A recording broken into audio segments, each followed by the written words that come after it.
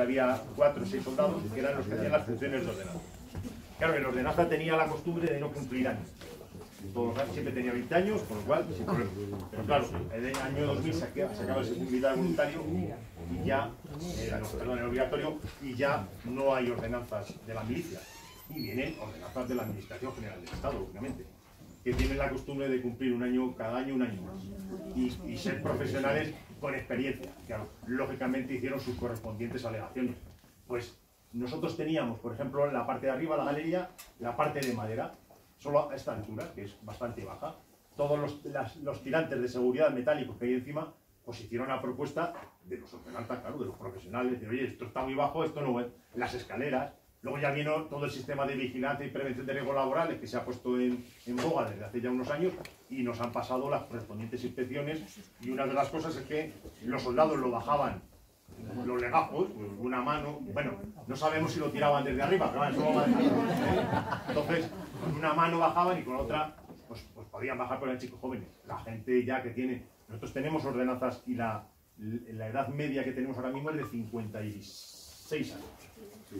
Pues entonces hay que ir dando eh, todas esas facilidades, aunque esto es un monumento histórico, esto tiene una infraestructura que no se puede mover y entonces eh, llegamos hasta cierto sitio. Las inspecciones, nosotros pasamos las inspecciones del servicio de vigilancia que tenemos en el ejército, de prevención de riesgos laborales, y hay cosas que no se pueden eliminar, pero sí que se pueden aminorar la- el problema. Las escaleras, no las puedes cambiar de, de- de inclinación, pero sí que en vez de madera como eran, pues metálicas. En vez de llevar un pasamano que no llevaba, pues ponérselo. O sea, todo eso ha ido mejorando y, y ha sido poco a poco, ¿no? Bueno, lo tenemos aquí, el material de guerra que decía. Bueno, para que se hagan una idea de lo que es, pues tenemos, por ejemplo, una cosa, lo que más nos, a nosotros nos ha dado trabajo, y es que teníamos, pues lógicamente, como eran edificios, construcciones, donde antes eran cuarteles, y llega un momento ¿eh? en el que desaparecen los, esos cuarteles, porque hay disminución de, personal, pero además ocurre otra cosa.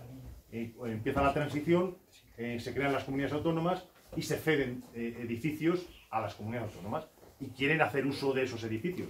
Por ejemplo, la Real Fábrica de Armas de Toledo, pues quiere la unidad, la, la- la Junta de Castilla-La Mancha quiere hacer una universidad ahí.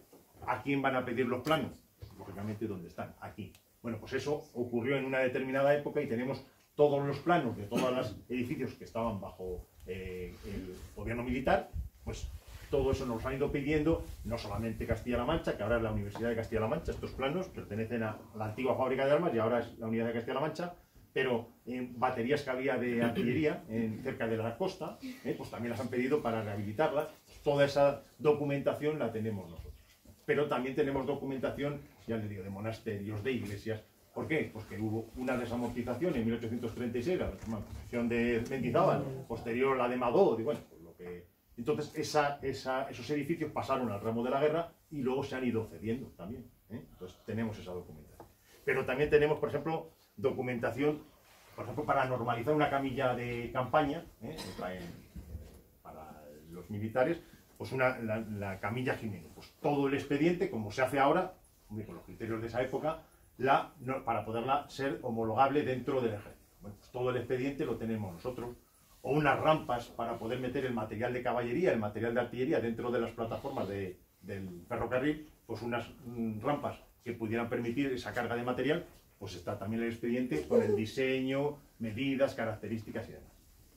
O también tenemos las fortalezas, todo lo que es la fortaleza de Santa Cruz de Tenerife de 1702. Ese es un plano, eso es una copia, lógicamente, es un plano de 3 metros en el que viene diseñado todas las fortificaciones que hay para defensa de- del puerto de Santa Cruz de Tenerife.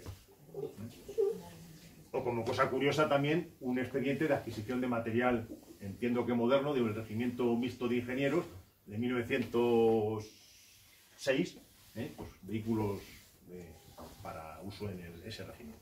¿De acuerdo? Bueno, seguimos. Pregunta. No.